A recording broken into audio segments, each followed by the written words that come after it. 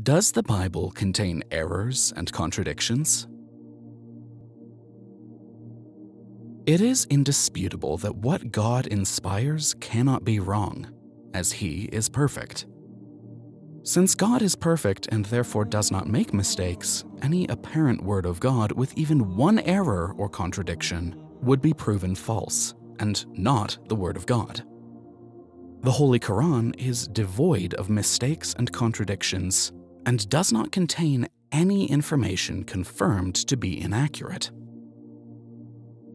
On the other hand, because human hands have altered the original revelation sent from God through the prophet Jesus, peace be upon him, many errors, contractions, absurdities, and immoralities have found their way into the Bible, even though the Bible prohibits anyone from adding to it. Ye shall not add unto the word which I command you, neither shall ye diminish aught from it, that ye may keep the commandments of the Lord your God, which I command you. Deuteronomy chapter 4 verse 2.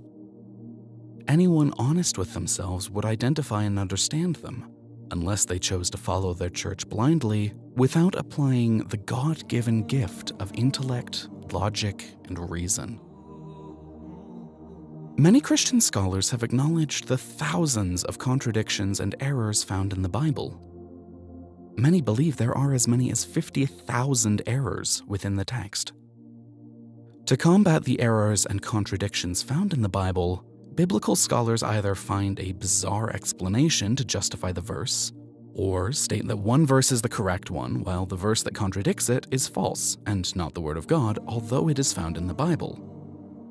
The masses seem unaware of this. The average Christian is ignorant that the book he takes as the Word of God contains many errors and contradictions. How can a reasonable, sincere Christian call the Bible the inspired Word of God when the Bible contains errors and contradictions? If one error exists in the Bible, let alone thousands, it is enough to determine that this is not the Word of God, but instead the Word of man. The Word of God should be perfect, free from errors on any subject, something no man or any number of men could produce. For the sake of time and the length of this point, I will point out only a few errors in the Bible. One can research the remainder of them online. Here are some undisputable contradictions in the Bible. How old was King Ahaziah when he ruled over Jerusalem? Was he 22 or 42? According to 2 Kings chapter 8 verse 26, Ahaziah was 22 years old when he became king, and he reigned in Jerusalem 1 year. And according to 2 Chronicles chapter 22 verse 2, it is Forty and two years old was Ahaziah when he began to reign, and he reigned one year in Jerusalem. How about Jehoiakim? How old was he when he became king of Jerusalem? Was he 18 or 8? According to 2 Kings chapter 24 verse 8, Jehoiakim was 18 years old when he became king. And according to 2 Chronicles chapter 36 verse 9, Jehoiakim was eight years old when he began to reign. Which is it? How can the supposed Word of God include an apparent contradiction? Can God be seen and heard? According to Exodus chapter 33 verse 11, Exodus chapter 24 verse 10, Exodus chapter 33 verse 23, Genesis chapter 3 verses 9 and 10, and John chapter 14 verse 9, so Jacob called the place Peniel, saying, It is because I saw God face to face, and yet my life was spared. Genesis chapter 32, verse 30.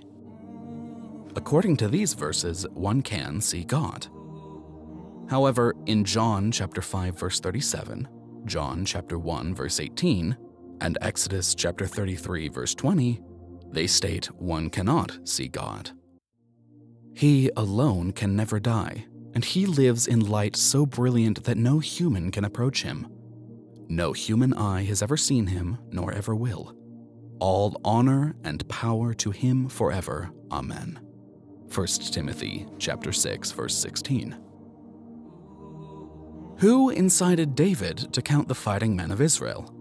According to 2 Samuel chapter 24 verse 1, it was God. Again the anger of the Lord burned against Israel. So he incited David against them saying, Go and take a census of Israel and Judah.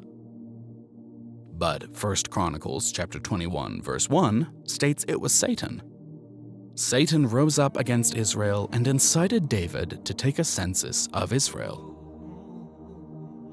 Contradictions in the Bible exist because of the insertions of words over time by people who claimed that they received revelation from God with no proof.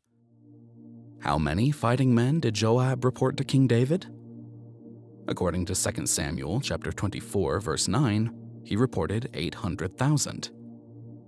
Joab reported the number of the fighting men to the king. In Israel, there were 800,000 able bodied men who could handle a sword, and in Judah, 500,000. But in 1 Chronicles chapter 21 verse 5, it states that the answer was 1,100,000. Joab reported the number of the fighting men to David. In all Israel, there were 1,100,000 men who could handle a sword including 470,000 in Judah. The Bible also contradicts Jesus Christ's genealogy. Matthew chapter 1 verse 16 states, And Jacob begat Joseph, the husband of Mary, of whom was born Jesus, who is called Christ. So, this verse states that Jesus was the son of Joseph, who was the son of Jacob. However, Luke chapter 2 verse 23 states, Now Jesus himself was about 30 years old when he began his ministry. He was the son, so it was thought, of Joseph, the son of Heli. In this verse, Joseph is not the son of Jacob, rather the son of Heli. One can conduct an internet search for contradictions found in the Bible to read the rest of many, many errors to be found. The Bible also contains many scientific errors that conflict with the facts we have learned confirmed through scientific investigation. The Bible also contains geographical errors, mathematical inconsistencies, logical inconsistencies, moral inconsistencies, and more. The Bible also contains historical errors, claiming the occurrence of certain events that never happened, and predicting certain future events that never happened. The Bible states the creation of the heavens and earth took place in six 24 hour days, as it references evenings and mornings. However, modern science teaches us that the universe cannot have been created in six days of 24 hour periods. The Holy Quran states that the creation of the universe was created in six long terms. The Bible states that the sun and the moon emit their own light, and God made two great lights, the greater to rule the day, and the lesser to rule the night. He made the stars also. Genesis chapter 1 verse 16. However, modern science teaches us that the moon does not cast its own light. This is confirmed in the Holy Quran, which states that the moon's light is reflected light. The Bible states that vegetation, trees, herbs, etc., were created on the third day, while the sun was created on the fourth day. Genesis chapter 1 verses 11 through 13 states, Then God said, Let the land produce vegetation, seed-bearing plants and trees on the land that bear fruit with seed in it, according to their various kinds. And it was so. The land produced vegetation, plants bearing seed according to their kinds, and trees bearing fruit with seed in it according to their kinds. And there was evening, and there was morning, the third day. And God saw that it was good. How can vegetation come into existence, grow, and survive without sunlight? You do not see such errors and contradictions in the Holy Quran. Will they not think about this Quran if it had been from another other than God, they would have found much inconsistency in it. Quran chapter 4 verse 82.